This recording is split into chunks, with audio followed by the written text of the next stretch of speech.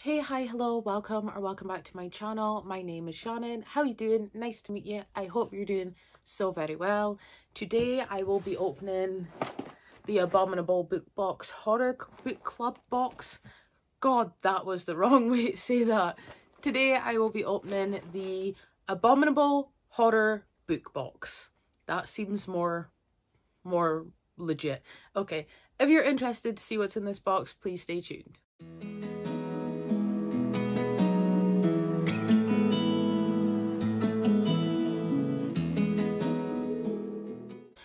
Are just like a kind of luck of the draw.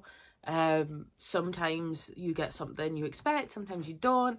You also get second-hand book. It's so interesting because everyone gets a different one. Like, I just really enjoy this box.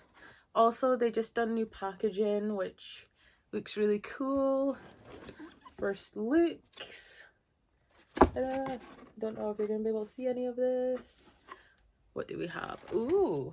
So, we have mini popcorn. Oh, maple bacon flavor popcorn. Are you seeing this? Do you see this? Oh my god. I'm eating these. I know I'm gonna love these. Sorry for the crinkling. Mmm, they kind of smell like bacon. They smell like bacon syrup on pancakes. Oh no. Mmm.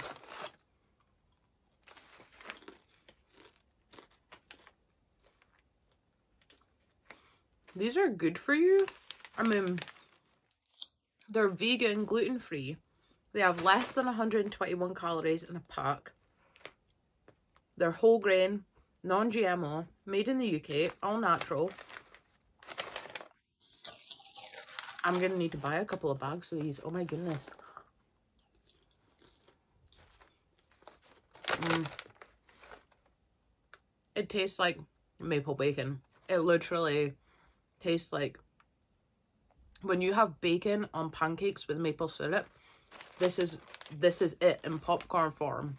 These are fabulous. Please buy these and try these. I will be eating this whole bag and searching where I can get more of these because these are fabulous. Mm.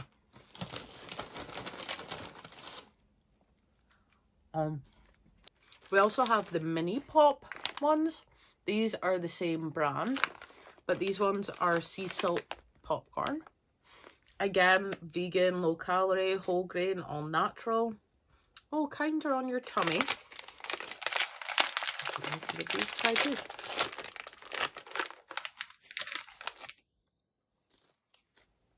I mean, it's sea salt popcorn. It's nice.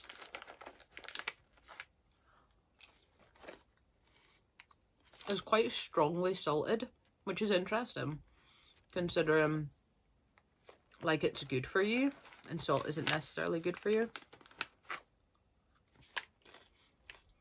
Hmm, they're all right. I would eat them if they were there but I'm not a huge salted popcorn gal. This is more my jam, so I'm going to give these to my mother. I said that really weird. I'm going to give these to my mum, and I am going to keep the maple bacon ones because they're the nicest ones. Next, this is where their drinks of the month come in. They normally put a couple of drinks in every box. I'm really sorry for all the crinkly noises that you're going to be hearing. Um, there's a lot of crinkles in this box. I'm just dropping things everywhere. I think they tend to put the same thing in every month, apart from they maybe change some of the flavours. So we have Off-Peak Green Tea we have off tea black off peak no. Oh they're not off peak. Off off black. I don't know so we have off black generation tea in green tea and in black tea I have tried the green tea of this from my last box and I did enjoy it. It was it was quite enjoyable. And then you get a Galaxy hot chocolate. A cappuccino unsweetened, which I always give to my mum because I am a latte girl, so no cappuccinos for me. And a coffee bag, which I still haven't tried yet. And this is like my third box. Next we have, I see a pin badge. Oh, it's like a melted ice cream, but a monster. How cute is this? I hope you can see it. I wonder what this is from, or if it's just a melted ice cream monster. I don't know, but that's going straight on my pin badge banner. It's I got it from Fairy Loot, so I put all my pin badges on it now, and it's kind of cute. Next, we have the first book, which is The Pallbearers Club by Paul Tremblay. Now, I've actually already read this on NetGalley. I got approved for an ARC, and I enjoyed it well enough. I gave it 3.5 stars. It was fine the only issue I feel is I enjoyed the story. I enjoyed where it was going, what it was doing. It was just that the format that I got from NetGalley was a little confusing. It wasn't formatted in a way that was enjoyable to read. So in this, it's kind of told in script. So the main character has written a novel about his life and then his friend has went in, read this novel and wrote like footnotes in the margins of things. And this didn't come across as well in the NetGalley ARC I received. So I am totally up for rereading this and seeing if I have a better experience with the format it was intended to be read in. So I'm just going to read you the synopsis here. This says, 1988, Art Barbara is a painfully awkward teenager, underweight, acne-ridden and bent crooked by scoliosis. Worse, he has no extra credits to get him into college. So Art starts the Pallbearers Club, mourning for people with no one else to bury them, which introduces him to Mercy Brown. Mercy is into bands, local history, and taking photos of the dead. Decades later, Art writes his memoir to try and make sense of it all, because nothing about Mercy is simple. Their friendship twists and coils captured in Polaroid snapshots and sweaty gigs and inexplicable flashes of the parasite lurking in a folded jacket at night. Because Art is writing, but Mercy is reading, and she thinks Art's novel, this isn't a memoir, needs some work. And she's more than happy to set the record straight. What if Art didn't get everything right? Come on, Art, you can't tell just one side of the story. This was good and I did enjoy it, but I feel I would enjoy it more in the format it was meant to be read in over the format I read it in on the NetGalley art. This is a pretty brand new release as well, so I'm really happy that we got a new release in this book box. So yeah, the Pallbearers Club. Then we have the second-hand book, which is one of my favourite parts. Oh, all this stuff is gonna end up all over my floor. This is my favorite part of the box, so I'm going to leave this till last because we also have, oh, oh, okay. And I will take out the other stuff. Oh, this is a really like full box. Okay, I think that's everything.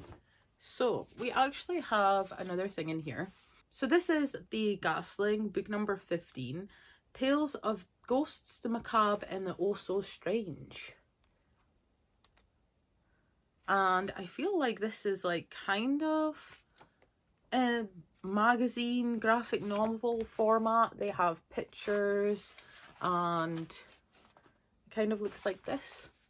This says the Venus lay on a bed of purple velvet. She was naked, save for a string of chaste white pearls around her throat. The elegant curve of her neck widened out to the swell of her breasts, perfectly formed. Sometimes when the museum was cold and quiet, I could swear I saw them rise and fall as if she breathed. and this is from the Anatomical Venus story. Then we have on Halloween night, Mama took me trick or treating. When we came home, Daddy and Malik said Miss Elliot was dead. There was a ghost on her front porch, a white sheet with something underneath that was bright from the porch light.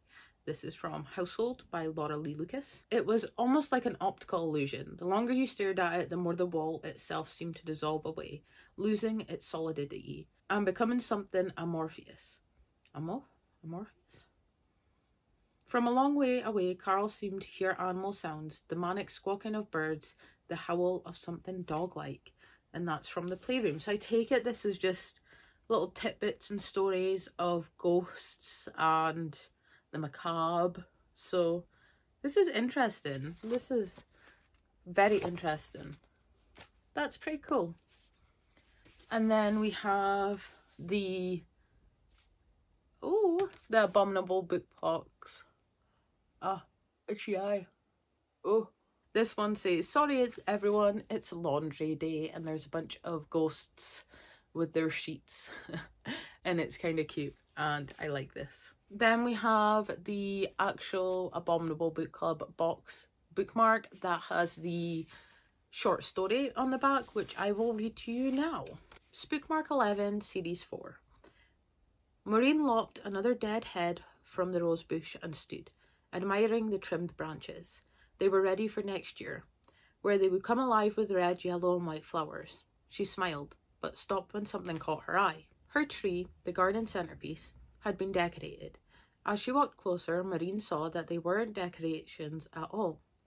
They looked more like fruit, except they couldn't be. It was a weeping willow, and weeping willows didn't bear fruit. She took one of the objects in her hand and was surprised to find it was soft and slightly damp a small auburn-coloured bean attached to the branch by a little stem. She spotted another close by, identical, and then, higher up, a larger one, wide and deep red, like a liver. Maureen pulled hard and detached one of the smaller fruits and was splashed by a thick red spray that burst from the stem. Oh my! she shrieked, stumbling away. Maureen wiped her face and studied the soft, fleshy thing in her hand. It reminded her of something she saw once as a theatre nurse. Maureen looked at the tree again and this time noticed a new shape. It was a hand, dangling from the branch, four fingers and a thumb, complete with fingernails, swaying in the light breeze. She grabbed the obscene thing, intended to tear it from the tree, but it seized her in its grip. She screamed, as another hand higher in the tree snatched her hair and lifted. In the moments that followed, she thought only of her late husband, missing for twelve years. She thought of his body tangled in roots and dirt, when she came face to face with a head dangling upside down high in the branches, she remembered planting this tree herself just over 12 years ago. Ooh, I will not be standing under any weeping willows anytime soon. that is very creepy. And finally, oh no, not finally, we have Possessed by Horror. Oh, that's so cool. Then we have the book of the second-hand book. It's definitely a paperback. Oh, okay.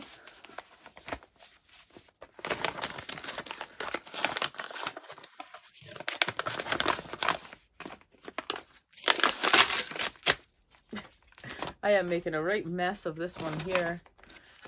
Is it even the right way around? It is the right way around. Is it a good one? Oh, Bird Box by Josh Malerman.